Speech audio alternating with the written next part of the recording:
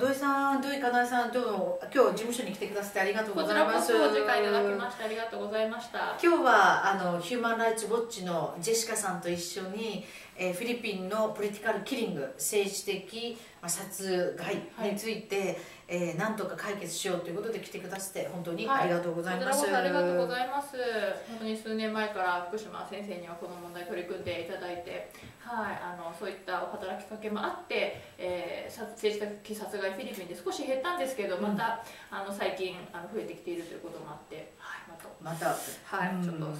戦略が練れれば嬉しいです。そうですね。最近ヒューマン・ライツ・ウォッチでどんなことをしてらっしゃるかちょっと話してくださいますか？はい、はい、あのヒューマン・ライツ・ウォッチはあの日本の政府にまあ、もっと人権問題をしっかり取り上げてもらおうと、うん、特にあの外交の分野で取り上げてもらおうということであの活動しております、うん、特に例えばあのこの前選挙があったミャンマーですね、ビルマもあの、まあ、特に特別によく取り上げていますしそうです、ね、はいあるいはあの、まあ、北朝鮮も隣の国ですけれども。はい、あの非常に重要であのこのビルマとか北朝鮮は特にアジアで、まあ、人権状況が悪いので、うん、まあ、国連で、えー、事実調査委員会というコミッション・オブ・インクワイリーというものをあの設立しようというふうに、あの働きかけています。うん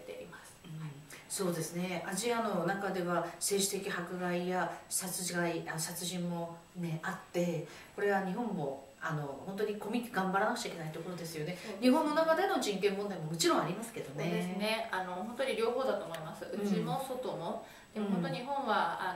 の、まあ、比較的ですけれどもアジアの中で、まあ、小さくなるというかもっと大きな国も本当に増えてくるので、え、まあ本当全全、まあ、アジアの全体でのやっぱり人権状況が良くなるってことが日本にもすごくダイレクトに影響してくる時代がもっともっとあの、まあ、そういう時代にどんどんなってくると思いますので。うん決して他人のためだけじゃなくてやっぱ自分たちのためにもアジアの全体ので人々が大切にされるっていうそういう地域を作るというふうになっていくといいなと思います。アジアの担当なんですよね。そうなんです。はい。やっぱ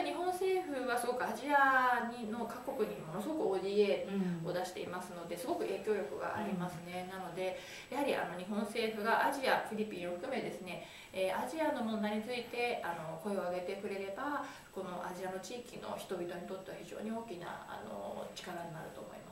そうですね。ですから前あれは自民党政権下でしたがフィリピンの政治的殺害について、えー、日本政府も発言してくれと委員会で言ったら、はい、当時外務大臣も発言し当時総理も発言し少しだけフィリピンの状況が変わったんですよね。そね。それは非常にあの、まあ、当時のアロヨ政権にとって大きな、うん、あの意味があったと思います。うん、あのま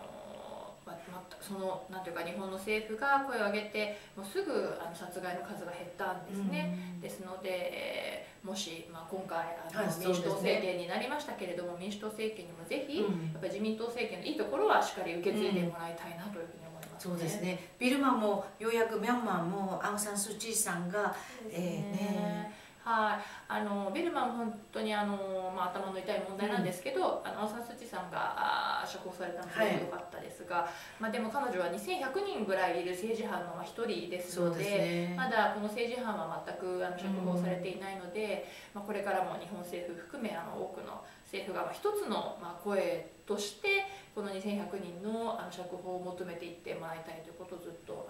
していますそうですね。あの国会にはミャンマーの議員連盟があるんですがそこで、えー、国会議員の人たちで良心的囚人、まあ、政治犯の人たち、えー、とりわけ国会議員の人たちはとりわけ早期に釈放せよって言って、うん、えー、署名してもらって、うん、えー、それをビルマ政府に送るなど取り組んできてるんですね。でも確かにまだまだ本当にあの両親の囚人と言われる人たちも多いから、これについてはちゃんと入れたいですね。そうですね。うん、でも多分あのそういった日本の国会議員の方々の働き方もあってやっぱ日本の日本の政府も、まあ、一応すべてのあの政治犯を釈放せよってことは何度もあのビルマの政府に対しても言っていますので、それあのやはりすごく意味があることだと思いますので、まあ、引き続き、えーまあ、国会議員の方々一人一人が動いてくださることがやはり